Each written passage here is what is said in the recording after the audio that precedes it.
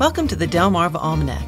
Each week, we connect you to the best of Delmarva. Like other almanacs, our aim is to tell you a little bit about our past, our present, and events in the near future. I'm your host, Dana Kester McCabe. Noreen Taylor began her work life running art classes at a nursing home and with psychiatric patients. An illness forced her to give up work outside her home, but provided her the opportunity to take up art full time. Now Noreen paints theorem paintings.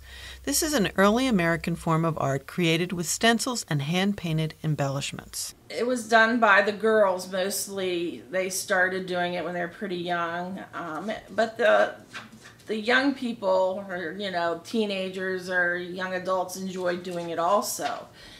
And they might gather in groups, and a traveling artist might be in town, and they would do it just as something they would enjoy doing, just like we do today.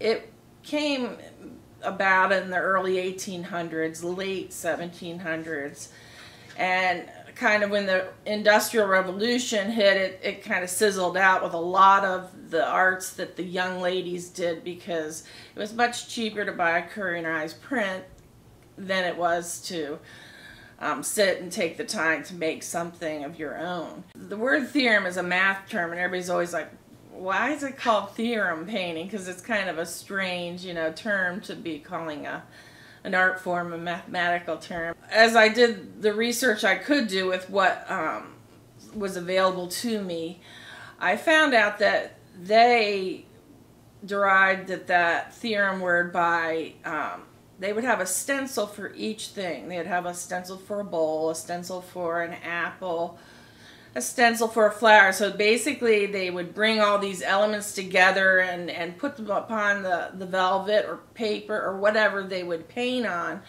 and make their picture, and that's how they got the word theorem. So it's the marrying of all these elements together. Theorem paintings are what some might call monoprints because whether the designs are newly created or based on heirlooms, each resulting painting is unique. Every individual artist brings their own sense of color to the work. Many practitioners, particularly novices, have a flat approach to color. The part that makes it an art form is when you start shading and you're you're using your oil paints and you're shading these colors and on one leaf you'll have you know you start with a light a yellow tone um, and you're using these oil paints that are just beautiful colors and tones and you'll start with a yellow and then you might use a medium green, a dark green. Some people who aren't real experienced with it or do it in a more primitive style, they may choose to just take that uh, part of the stencil and color it in all green and not put the yellow down and shade it.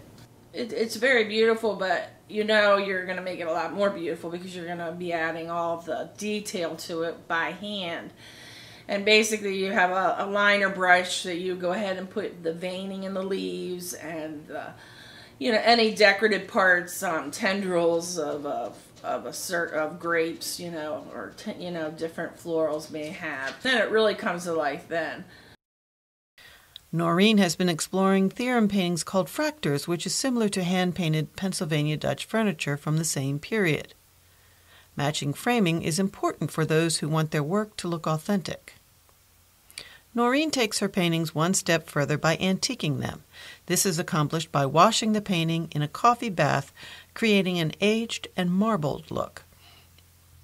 Noreen says that a special set of circumstances led her to this work.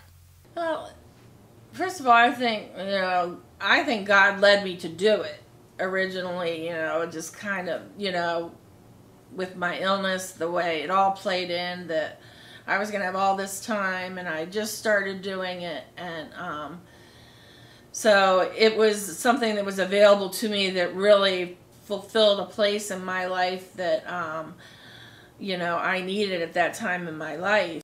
Noreen accepts commissions, teach classes, and shows her work at a number of shows annually. Oh, Dover Days is a, a fun thing, and it's a great time to educate people we're dressed up in our, you know, costumes from the 18th century. Um, my husband usually comes and dresses up, and he might bring some of his furniture. Um, this summer, um, I actually have no shows, but I'll be doing my first um, exhibit uh, uh, at um, Historic Houses of Odessa. They're going to have a um, exhibit on theorem painting, which they're going to be showing. There's a gentleman who has a large collection of antique theorems, and then they're going to use my um, theorems to, you know, contrast with his. So it's I have a real privilege of them asking me to do that. Find out more about Noreen's work at noreenspaintings.com. We'd like to thank our community partners, the Friends of Delmarva Public Radio, the Community Foundation of the Eastern Shore, and underwriters EatDrinkBuyArt.com for their help in bringing this program to you, our audience. Our theme music was provided by Brightside Studio. This show has been a Moonshell production. Thanks for listening. Until we meet again, may the rhythms and tides of Delmarva bring you good fortune.